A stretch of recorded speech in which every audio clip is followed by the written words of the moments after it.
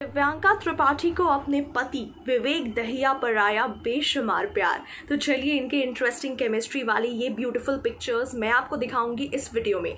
नमस्कार, मैं स्निग्धा, स्वागत करती हूँ आप सभी का हमारे चैनल पर।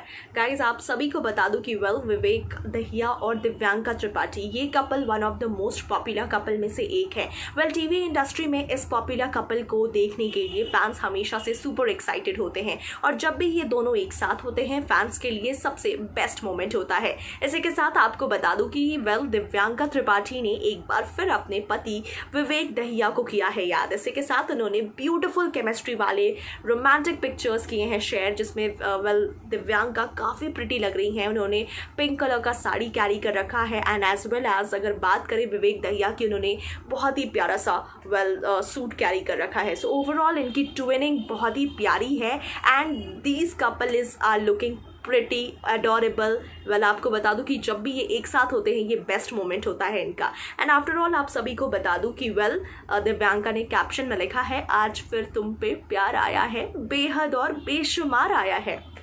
बहुत ही प्यारे कैप्शन कैप्शन के साथ बेसिकली दिव्यांका ने इस पिक्चर्स को शेयर किया है। इनकी ट्विनिंग बहुत ही प्यारी लग रही है और बेसिकली जब भी ये साथ होते हैं बेस्ट मोमेंट तो होता ही है। लेकिन इसके साथ साथ फैंस लगातार इन ब्यूटीफुल रोमांटिक पिक्चर्स को देखकर कमेंट्स पर कमेंट्स करते हुए नज़र आ रहे हैं। इसी के साथ आपको ये भी बता दूँ कि दिव्यांका फ़िलहाल केपटाउन में मौजूद हैं और लगातार क्योंकि काफ़ी दिनों से अपने लविंग हस्बैंड विवेक से वो दूर हैं, जिसके बाद उन्होंने ये प्यारी से पोस्ट को किया है शेयर उनको डेडिकेट वेल गाइज़ आप भी देखिए इनकी रोमांटिक केमिस्ट्री वाले ब्यूटिफुल पिक्चर्स और बताइए कि विवेक दहिया और दिव्यांका त्रिपाठी, ये ब्यूटिफुल कपल आप सभी को कितने पसंद आते हैं? एक साथ कॉमेंट सेक्शन में कॉमेंट करना ना भूलें. तमाम बॉलीवुड टीवी दुनिया से जुड़ी हर एक खबरों के लिए देखते रहिए हमारा चैनल